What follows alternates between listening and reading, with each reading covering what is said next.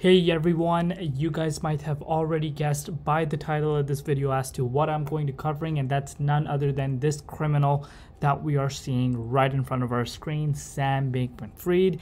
He has spoken today, you know, some things that he's saying has just you know been all over the place not making any sense. And you know i just wanted to deep dive into it and really share with you guys as to what this guy is all about and how much of a liar he really is. So let's waste no more time and get right into this.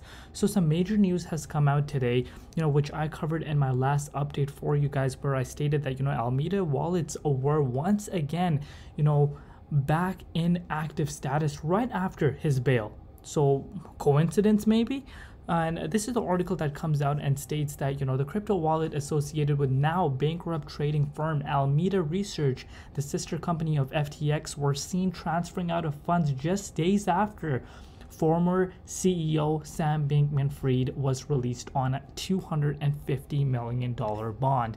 And you guys can see right here, you guys can see these wallets were back in uh, you know, active status right after his bail. And, you know, he has come out today and said this tweet. And this is absolutely funny to me when I see this.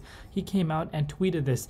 None of these are me. I'm not and couldn't be moving any of those funds. I don't have access to them anymore. And, you know, number one question is how does he have access to Twitter right now?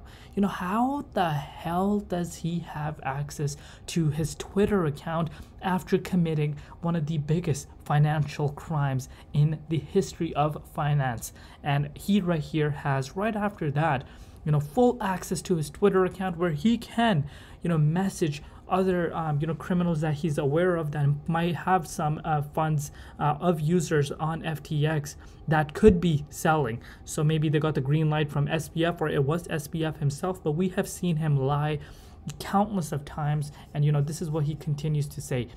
I believe it's likely the case that various legit legs of FTX have the ability to access these funds. Hopefully that's what's happening here.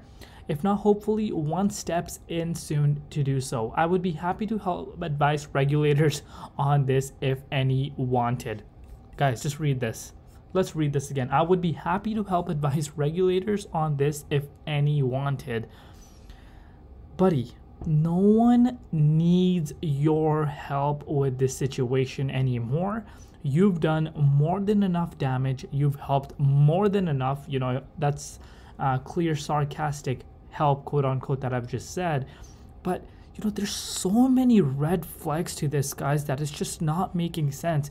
You know, is the bro- system broken? Are they behind this? Are they kind of backing him in terms of this?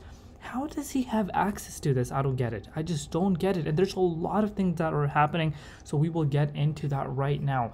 You know, as far as the overall line goes, you know, look at this, guys. This is what he said in the first Good Morning America uh, interview that happened earlier, um, you know, last month.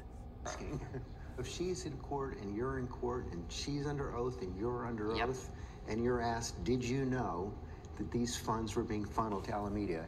What is your answer?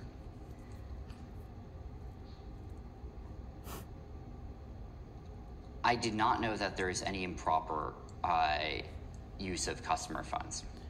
I did not know that there was any improper use of customer funds. And you've heard this from this guy himself. And this, I keep telling you, he is evil. He knows what he is doing. And he is a massive, massive liar. And, you know, you guys heard this out of his own mouth. And obviously, his ex girlfriend came out and said this I agreed with others to borrow several billion dollars from FTX to repay those loans. And she said this um, this is his uh, ex girlfriend that mentioned this, Carolina Ellison. And also says, I knew that it was wrong. The former executive told the federal judge in Manhattan on Monday in entering her guilt uh, plea, according to transcript of the hearing that was unsealed on Friday. So right here, you know, we have just seen earlier where Buddy is just coming in saying he did not know that you know the user funds were being uh, funneled to. Uh, Alameda Research, but yet we have Carolina Ellison, who was part of uh, Alameda Research, who was the head and was using these funds. And where were these funds coming from? The users and a lot's going on and also you know obviously solana having a massive impact and again this is all happening very very closely to his release. You guys can see Solana took a massive, massive plummet after he was released. And if I do bring out the measuring tool for you guys, since December 28th, which was just four days ago, we saw the price go down all the way, uh, you know, about 30%. So what caused this? Why did Solana dip down 30% so close to after he was being released? Why wasn't Solana dumping when, you know, he was still in custody? Does that make sense? Do not like obviously the overall dots are once again connecting and it all leads to that one criminal man and that criminal is Sam Bankman Fried and I can't wait to see how January 3rd or 5th I forgot which exactly date that is how this plays out guys. I cannot wait to see how this plays out.